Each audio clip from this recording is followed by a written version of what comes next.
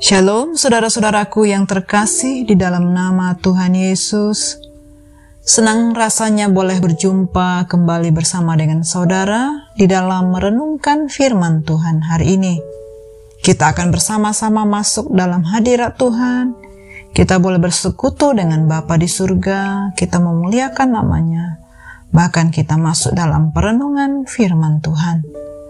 Saudara-saudaraku, mari saya mengajak seluruh saudara boleh lebih lagi menggali firman Tuhan. Kita bersama-sama untuk rindu agar firman Tuhan bertumbuh dan berbuah dalam hidup kita. Nah, saudaraku, mari kita persiapkan diri kita lebih lagi. Kita merendahkan hati di hadapan Tuhan dan kita persiapkan lebih lagi yang terbaik bagi Tuhan. Mari saudara-saudara, kita satukan hati dan kita berdoa. Bapa kami yang di surga, dikuduskanlah namamu.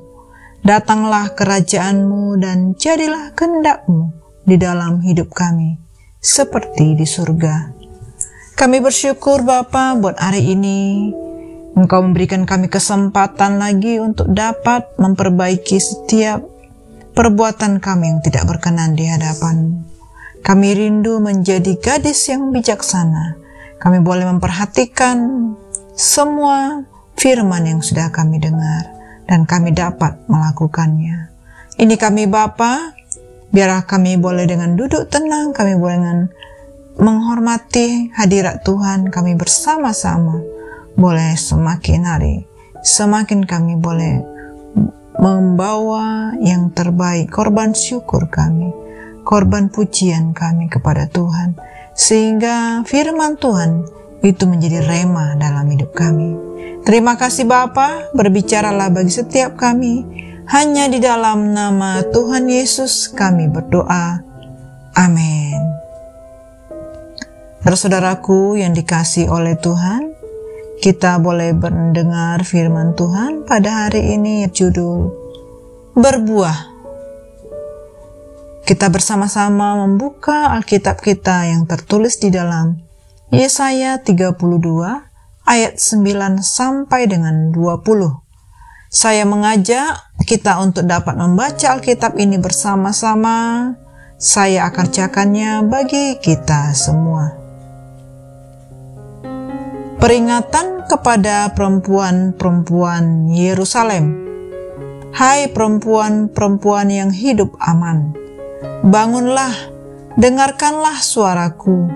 Hai anak-anak perempuan yang hidup tentram, perhatikanlah perkataanku dalam waktu setahun lebih kamu akan gemetar. Hai orang-orang yang hidup tentram, sebab panen buah anggur sudah habis binasa, dan panen buah-buah lain juga tidak ada. Gentarlah, hai perempuan-perempuan yang hidup aman. Gemetarlah, hai perempuan-perempuan yang hidup tentram. Tanggalkanlah dan bukalah pakaianmu Kenakanlah kain kabung pada pinggangmu. Ratapilah ladangmu yang permai, dan pohon anggurmu yang selalu lebat berbuah lebat. Ratapilah tanah bangsaku yang ditumbuhi semak duri dan putri malu. Bahkan juga segala rumahmu, tempat bergirang-girang di kota yang penuh keriaan. Sebab purimu sudah ditinggalkan, dan keramaian kotamu sudah berubah menjadi kesepian. Bukit dan menara sudah menjadi tanah rata untuk selama-lamanya, menjadi tempat kegirangan bagi keledai hutan dan tempat makan rumput bagi kawanan binatang. Sampai dicurahkan kepada kita roh dari atas, maka padang gurun akan menjadi kebun buah-buahan dan kebun buah-buahan itu akan dianggap hutan. Di padang gurun selalu akan berlaku keadilan, dan di kebun buah-buahan akan tetap ada kebenaran. Di mana ada kebenaran, di situ akan tumbuh damai sejahtera, dan akibat kebenaran ialah ketenangan. dan ketentraman untuk selama-lamanya. Bangsaku akan diam di tempat yang damai, di tempat tinggal yang tentram, di tempat peristirahatan yang aman. Hutan akan runtuh seluruhnya dan kota akan direndahkan serendah-rendahnya. Berbahagialah kamu yang boleh menabur di segala tempat di mana terdapat air, yang dapat membiarkan sapi dan keledainya pergi ke mana-mana. Amin. Nah, saudara-saudaraku, Yesaya 32 ini berbicara tentang kitab yang ditulis oleh Yesaya sebelum kerajaan Yehuda ditaklukkan dan orang-orangnya dibuang ke Babel. Isinya kebanyakan tentang peringatan.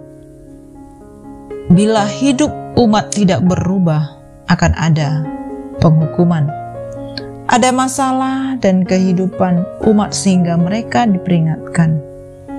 Namun sekaligus memiliki harapan pada masa depan tentang situasi hal-hal yang ada yang perlu kita simak yang membawa suatu persiapan bagi setiap kita. Nah, saudara-saudaraku, kita boleh belajar melalui firman Tuhan ini bagaimana kita berjalan bersama dengan Roh Kudus. Kita mengalami kepenuhan dan kita hidup dalam buah berbuah Saudara-saudaraku, kita akan menerapkan firman Tuhan ini bersama-sama. Apakah selama ini kita sudah berbuah? Menurut saudara, bagaimana caranya agar setiap benih yang sudah kita terima dapat bertumbuh dan berbuah? Dan apakah peranan Roh Kudus di dalam hidup kita? Saudara-saudaraku yang dikasih oleh Tuhan, kekristenan tidak pernah terlepas dari firman Tuhan. Setiap kali kita ke gereja, pasti ada firman yang disampaikan sebagai dasar khotbah. Jika kita dimuridkan, kita akan terus membaca firman yang menjadikan kita semakin kaya, menjadikan kita semakin bijaksana, bahkan kita semakin kuat. Nah, saudara-saudara, kita boleh belajar firman Tuhan ini bahwa ketika kita membaca firman Tuhan yang begitu penting di dalam kehidupan Kristen, maka kita akan mengalami suatu perubahan yang lebih nyata lagi. Saudaraku, jika kita ingin perubahan terjadi dalam hidup kita, maka harus ada buah roh yang kita hasilkan di dalam kehidupan kita terlebih dahulu. Buah roh ini berasal dari benih ilahi, yaitu firman yang ditabur, yang sudah kita baca, yang kita dengar melalui hamba-hamba Tuhan ataupun melalui firman Tuhan sendiri. Saudara, bukan sekedar firman Tuhan, tetapi firman yang diurapi oleh Roh Kudus sehingga menjadi rema dan setiap kali kita membaca, merenungkan firman Tuhan, maka kita memberikan pupuk yang terbaik untuk mempercepat perkembangan benih yang ada di dalam hidup kita menjadi buah roh. Itulah sebabnya tanpa firman Tuhan tidak akan ada buah roh. Saudara-saudaraku, buah roh yang pertama-tama nyata terlihat di dalam perubahan watak ataupun karakter kita yang tadinya memiliki sifat tidak baik dan bagaikan padang gurun yang selalu dihindari orang, diubahkan oleh Tuhan menjadi kebun buah yang banyak dicari orang. Yang tadinya kasar menjadi lemah lembut dan penuh kasih. Anak yang memberontak menjadi penurut dan hormat pada orang tua. Istri yang suka marah menjadi istri yang tunduk kepada suami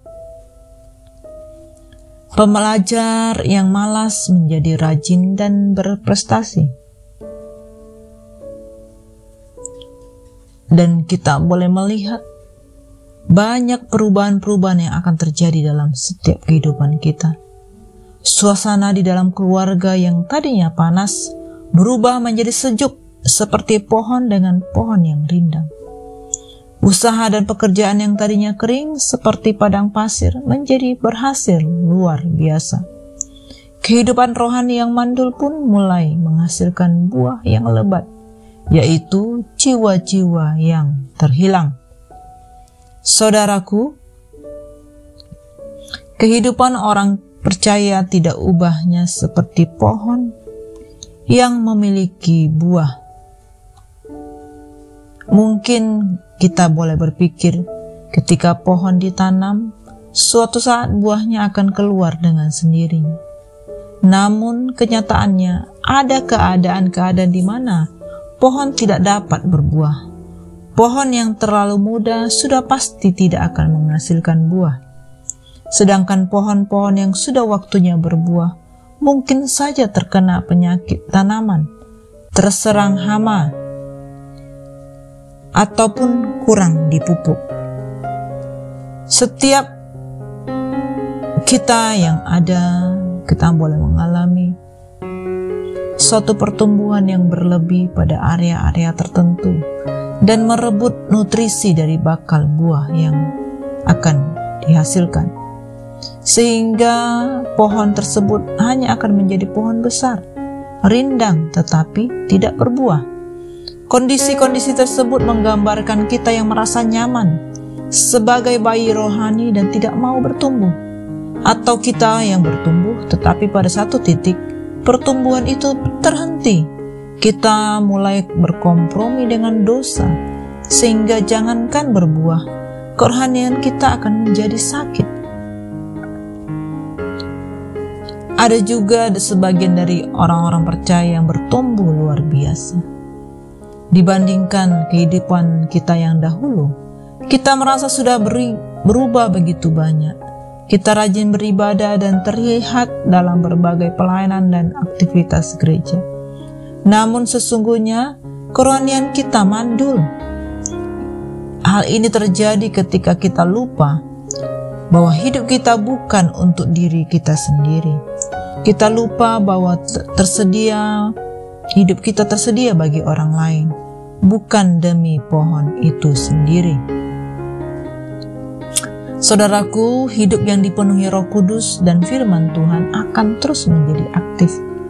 Kita akan rindu berbuat sesuatu bagi Tuhan untuk membalas cinta kasihnya.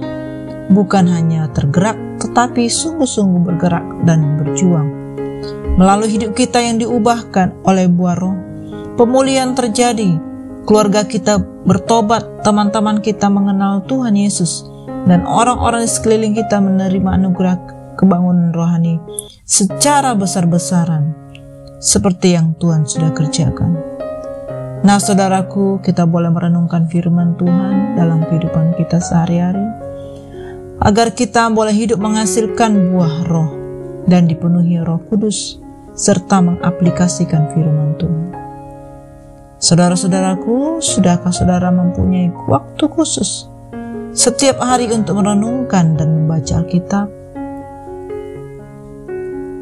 Saudara, apakah saudara sudah menghasilkan buah roh yang menghubu, yang mengubahkan hidup saudara? Kira-kira menurut saudara buah apa yang saat ini dihasilkan dalam situasi yang kita alami? Mari kita introspeksi, mengevaluasi diri kita, saudara-saudaraku. Apa yang kita alami, semua tidak kebetulan, tapi ada maksud rencana Tuhan yang besar di dalam hidup kita. Demikianlah renungan firman Tuhan pada hari ini, saudara-saudaraku. Mari kita satukan hati dan kita tutup di dalam doa. Terima kasih, Bapak yang baik. Kami bersyukur buat firman Tuhan yang sudah kami dengar. Kami percaya firman Tuhan akan sungguh-sungguh dapat kami lakukan dalam kehidupan sehari-hari. Ya Bapa, kami sadar tanpa Tuhan hidup kami pasti akan ditumbuhi tanaman liar ataupun menjadi gersang. Kami berdoa setiap kami dipenuhi dengan roh kudus, sehingga kami percaya bahwa roh kudus yang menolong, yang menyiram setiap benih ilahi ataupun firman Tuhan yang tertanam dalam hati kami, sehingga firman-Mu sungguh-sungguh dapat tertanam, berakar, dan berbuah. Terima kasih Bapa, Roh Kudus yang senantiasa memberikan kami kekuatan sehingga kami menghasilkan buah yang berkenan di hadapan Bapa. Terima kasih Bapa, kami serahkan seluruh aktivitas kami sepanjang hari ini hanya ke dalam tangan kasih Tuhan. Kau menghibur kami, Engkau menguatkan kami, bahkan menyertai setiap kami. Hanya di dalam nama Tuhan Yesus kami berdoa. Amin. Semangat pagi, semangat di dalam berkarya. God bless you all.